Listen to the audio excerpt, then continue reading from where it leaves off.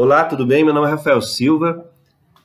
Eu vim falar para vocês hoje sobre compra e venda de veículos. Você vai vender ou comprar um veículo, não deixe de assistir essa aula. Vai ser muito importante para vocês. É... Da onde que eu tirei essas 10 dicas? Eu tirei dessas 10 dicas com experiência. Eu, Rafael, sou professor, é, especialista em trânsito. Daí, sempre o aluno vem com essa mesma história triste tá? Para o meu lado e eu vou explicar para vocês para que não aconteça com você. Eu estou no escritório lá, a pessoa está com um problema e ela vai no escritório e 50% dos casos lá acontece de que forma? A pessoa comprou um veículo e veio a ter é, problema com a transferência desse veículo, ou a pessoa vendeu um veículo e tomou um monte de multa e agora tem que pagar a multa, está com a restrição na CNH. Então, basicamente, pessoal, essa aula aqui é top, é uma aula técnica, sabe, para que você não erre em nada na hora de comprar um veículo, beleza? Vamos para a aula então para não enrolar. CRV. CRV é o Certificado de Registro de Veículos.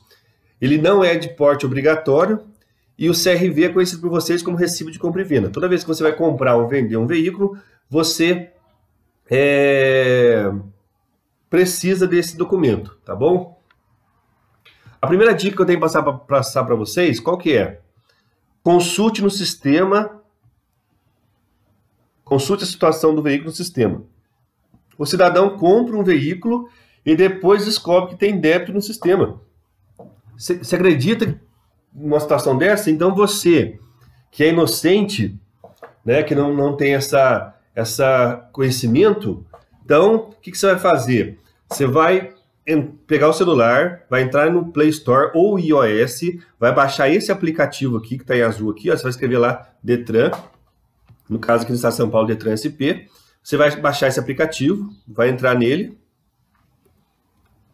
vai ter lá uma série de, de opções, esse aplicativo é bem legal, meus veículos, outros veículos, é, pontos na CNH, pedir segunda via da CNH, a, a, a agenda de carros, pesquisa de peças usadas, se você subir aqui a tela, você vai ver que tem um monte de coisa para baixo, é, importantes também.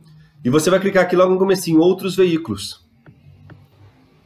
Aí você digita a placa do veículo aqui e aqui embaixo você digita o Renavan do veículo.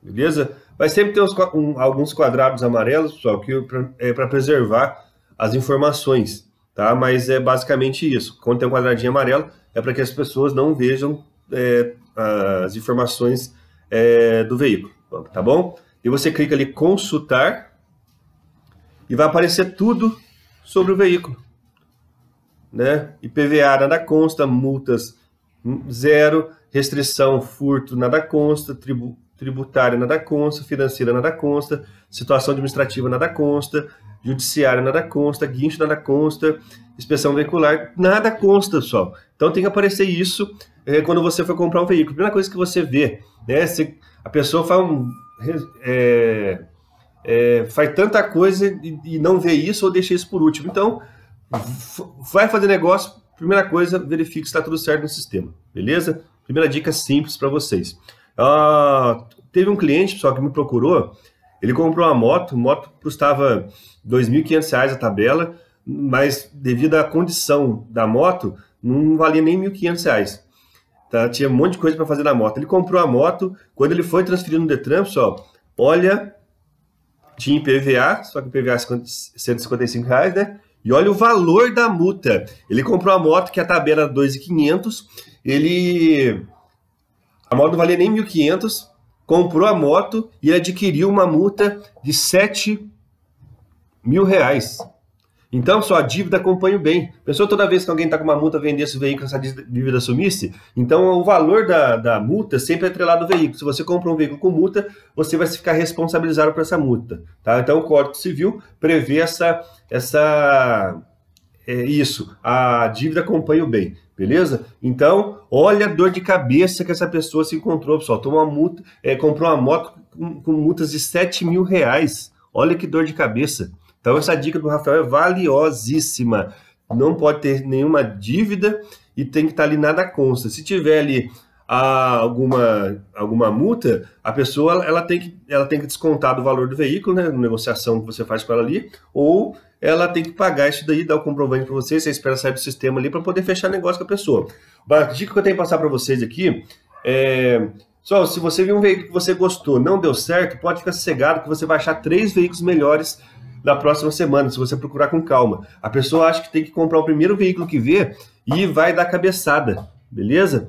Toma cuidado. A pessoa chega ali, não, você vai comprar, se você não vai comprar, ter outra pessoa que vai comprar. Só, então por que, ele não vendeu para outra pessoa então? Então esse é papo de vendedor, tá? Ai, se você não comprar, tem outra pessoa que vai comprar. Então vende para outra pessoa. Então você tem que ver o seu veículo certinho antes de comprar para não ter dor de cabeça, beleza?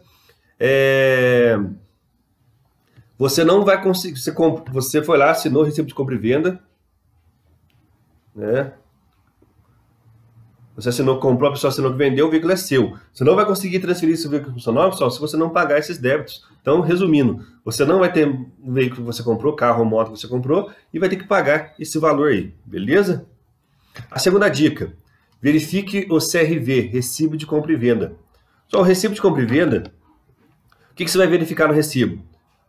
É, se o vendedor possui o recibo, tem pessoas que querem vender o veículo, mas não possui o recibo. Cai fora, cai fora.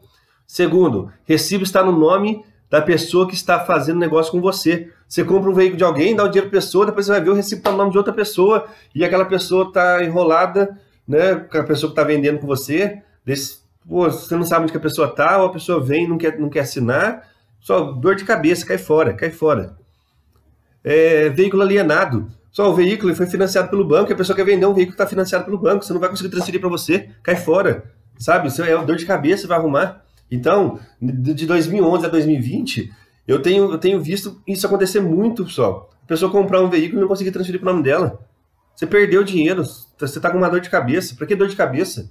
Ah, eu vou procurar advogado, pessoal. Esquece advogado, pessoal. Advogado é um, é um profissional né, qualificado que vai te ajudar mas, numa enrascada quando você está num problema. Agora você vai querer entrar numa enrascada para ter que pagar um advogado. É mais fácil não ter problema, só não precisar de advogado para nada. Entendeu? Então, advogado é um profissional que pode te ajudar, mas você vai ter que ter dor de cabeça, vai ter que gastar mais dinheiro com ele ainda. Então, é, o negócio é você comprar um veículo, não tem que é, procurar ninguém para te ajudar, você mesmo ter conhecimento para fazer essa, essa, essa compra, né, sem, sem prejuízo.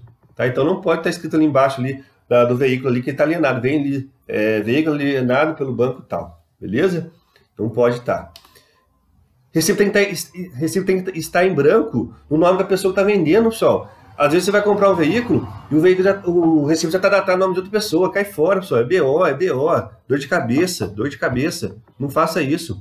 Então a pessoa tem que passar na vistoria de novo, pegar um recibo em branco no, no nome dela, né? Para depois transferir. Então não, não deu certo esse veículo, pode ter certeza que você vai achar três melhor ali, 10 melhor. Então esquece, pessoal. Não, essa, essa dica aqui é para você não ter dor de cabeça, beleza? Então, o tem que estar em branco essa parte aqui para você poder assinar que comprou, a pessoa assinar que vendeu. Depois eu vou falar dessa, desse preenchimento para vocês, tá bom? A terceira dica que eu tenho para passar para vocês: leve o veículo ao mecânico. Falei, mas o que, tem a ver? Pessoal, eu estou passando aqui para vocês 10 dicas antes de comprar ou vender um veículo.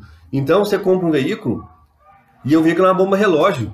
E o mecânico foi lá, é, puxou aqui, ajustou aqui, segurou ali, né?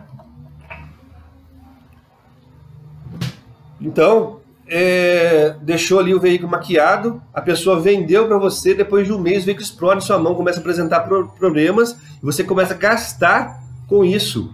Então, a dica do Rafael é leve o veículo no mecânico. E outra dica que eu tenho para passar para vocês: